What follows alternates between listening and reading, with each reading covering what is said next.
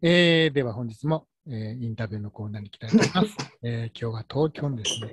ケーズシネマさんと中継という初の試みでやっております。ズームですけども、よろしくお願いいたします。えー、まずは自己紹介のほどお願いいたします。はい。えー、夢幻紳士人形地獄を監督いたしました海上ミサコと申します。えーだい。ぶ長い時間をかけて作っておりましたので、はい、はい、よろしくお願いいたします。よろしくお願いします。はい、あの、はい、私もね、あの原作知らないままで拝見させていただきましたけども、はい、すごく映画映画として、えー、面白く、えー、拝見させていただきましたけども、えー、簡単にあらすじの方をお願いいたします。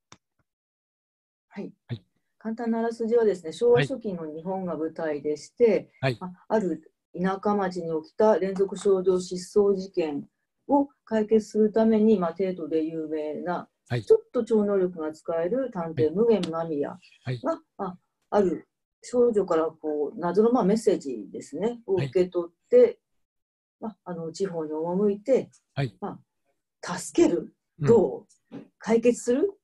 というようなところで、はい、展開するお話でございます。はい、そして今日は特別に監督だけではなしに、はい、無限無限さんも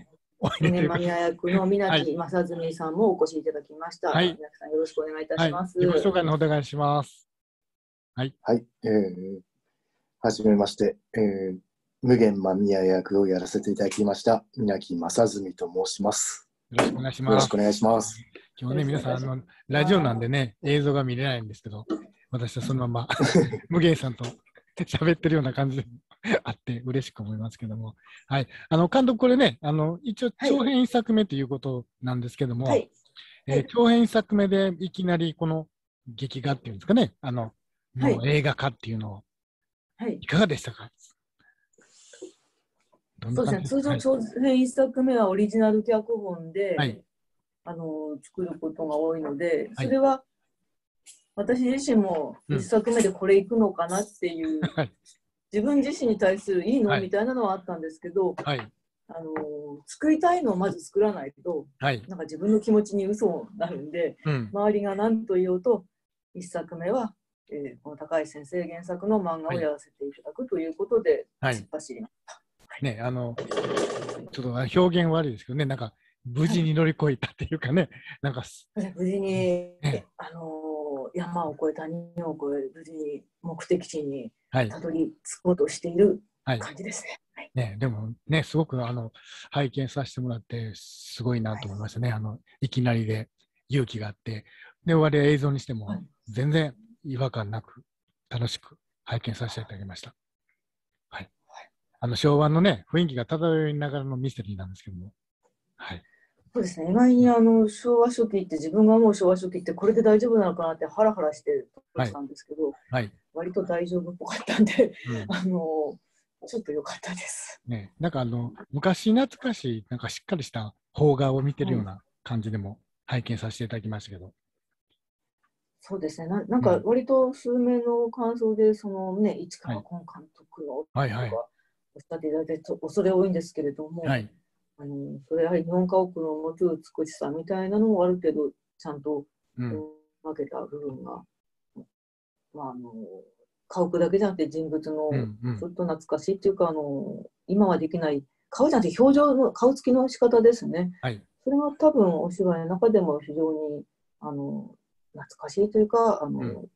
奥ゆかしいいい表情が出てそれがつながそういう評価につながってると思います。そうですね。あの逆にあの大きなあのあのですか商業映画になりすぎますと、役者さんのイメージがあって、でそれで原作と合わないとかっていう、はい、ねそういう割合ココメントが多いんですけどね。はい、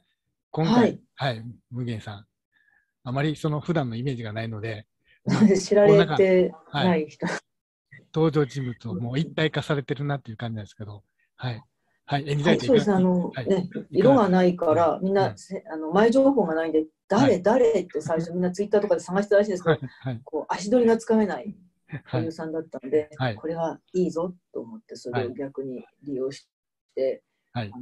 新しいイメージ、まっさらな皆木さんっていう、あの俳優さんを提示することがうまくできたと思います。はい。皆木さん演じられまして、いかがでしたでしょうか？うん、はい、えー、まあやっぱり漫画最初にあの、はい、連絡いただいて、このお話をいただいたときに、はい、あの原作本と一緒にこれをやりたいんだけどっていうことで、はい、で自分もパー見させてもらって、はい、やっぱり正直な感想で言うと、まあ、あの名のある綺麗な、あの方がやられた方が合うんじゃないかなっていうのが自分の感想でした。でも、まあ、お前でいいんだって言われたんで、はい、じゃあやりますみたいな感じだったんですけれども、ね、はい。なんかあのね、監督が女性にするか男性にするかってね、前、前言われてた部分があって、うん、でもやっぱり男性が見た方が良かったし、ね、やはりミステリーっていう部分では、逆にね、性別でちょっとミステリー感なくしてしまうところもあるのかなと思ったんで、はい、今回、すごくもう、はい、良かったと思います。やっぱあの、ま、無限豆をできるのは私にとっては皆木正純さんしかいないっていう、はい、こう天の啓示を受けたという確信を持ってお願いしました。ね、もうもうね、やっぱり代表作になしも、ちょっと芸名を変えてもいいぐらいのぴったりぴったりの役かなという思いながら見まして、はい、あのすごくあのね、まあ他の方もすごくあの、ねはい、素晴らしかったので、あの全然それは良かったと思います。はい、まああのホラーというよりは全体的になんか綺麗な怖さっていうんですか、それがありましたよね。そうですね、怪奇ファンタジーみたいな、はい、定義で考えてました。はい。だから、我々その、その、邦画でダークファンタジーをね、ちゃんと撮るっていうのが難しい中ですごく、まあ、こういう邦画的なダークファンタジーもあるんだなっていうのをもう思い思いました、見てて。はい。はい、久々に非常に私が プッシュをしている作品だったなと。ありがとうございます。はい、あのやっぱりね、本当に劇画の実写版ってすごい難しいと思うんですよね。はい。うん、やっぱりこの原作者のファンもいるから、そこもちょっと気にしながら、ね、はい、映像化しないといけないところがあるんですけどね。そうですね。でも、もともとそのクラウドファンディングを2015年にやって、はい、作ったのが最初で、つまりいわゆる企画ものではなかったので、うんうん、原作の高橋先生に許可を受けるときも、これはあなたが思う無限の網なのだから、はい、あの気にしないで作,、作りなさいっていうふうにあのこう肩を、まあ、背中を押されまして、はい、それで、えー、ファンの方の意見は、まあ、いろいろあるのは承知の上で、えー、でも自分が思う、えー、無限マミや無限紳士の世界を、もう取りますっていうことで、うん、はい、あの突っ走りました。はい、なんかこのね、こんだけ皆さん好評なので、ね、またもう一本、ちょっとシリーズ化っていうとおかしい 続編みたいな。そうですね、皆さんそうおっしゃっていただいて、もうそんなこと言われるとは、夢ほどにも思ってなかったんで、はい、どうしようって今、